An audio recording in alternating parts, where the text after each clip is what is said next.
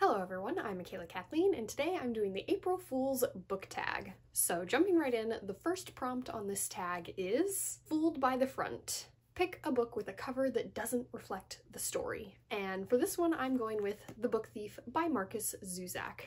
I've never really cared much for this cover.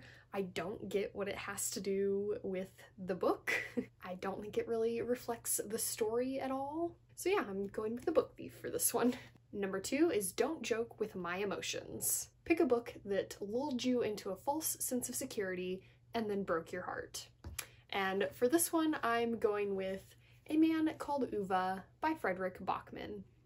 I went into this one not knowing too much about it, and it's kind of a story about like a curmudgeonly old man who kind of learns to let people into his life again. So it's one of those kind of bittersweet books that has like really sad moments and really heartfelt moments, and it really pulled on my heartstrings. Number three is Leafing Through Lies. Pick a book with a misleading synopsis. And with this one, it's not so much that the synopsis was so misleading. It was, I had heard a lot from BookTube about it, and the synopsis does, was like slightly misleading in a way.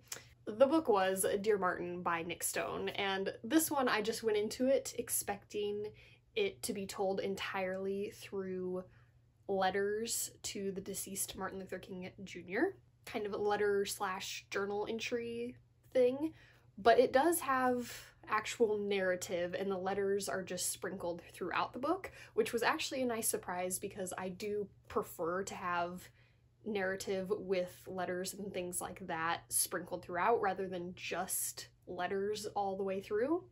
So misleading, but in a way that turned out to be good. Question number four is played yourself. Pick a book that you thought you would love, but was a big disappointment.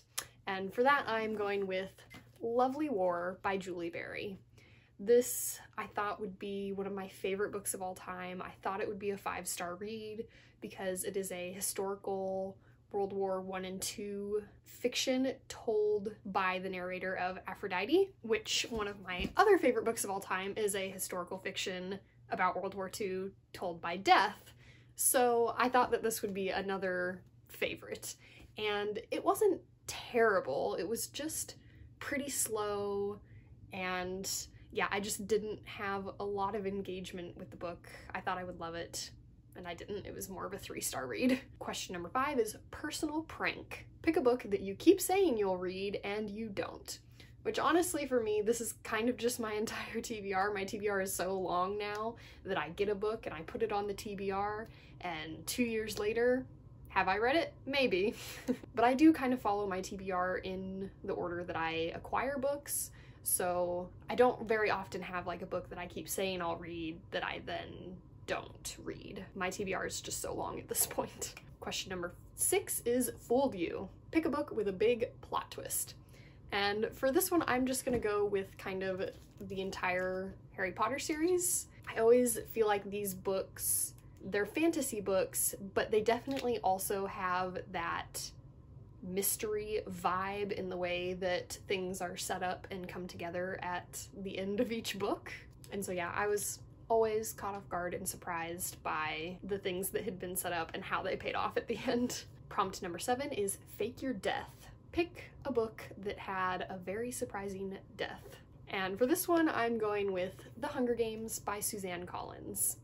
And spoiler alert, because this death happens at the end of the third book, so if you haven't read the series, but uh, the death of Prim was very surprising, very sad, and I think it was just so dramatic because the entire point of the series was to save Prim's life. The book starts with Katniss volunteering to take Prim's place in the Hunger Games so that Prim won't die, and then they kill her, and it's the worst. So yeah, that was a big surprise death for me. And finally, prompt number eight is foolproof. Pick a book that satisfied you completely. And I could have gone with a lot of books here. I have a lot of five-star reads on my shelves, but I decided to just go with like my most recent five-star read, which is still The First Girl Child by Amy Harmon. This was a really great fantasy book. I loved the world that was set up here. I liked all the characters. I loved the vibes. A total satisfying five star read. and that was it for the April Fool's tag. Happy April Fool's Day. I hope you enjoyed watching, and now on to the quote for today's video, which today I have kind of my favorite quote that is from Harry Potter, and it is said by Dumbledore, and it goes, Words are, in my not so humble opinion, our most inexhaustible source of magic, capable of both inflicting injury and remedying it. Thanks for watching. Remember, words matter.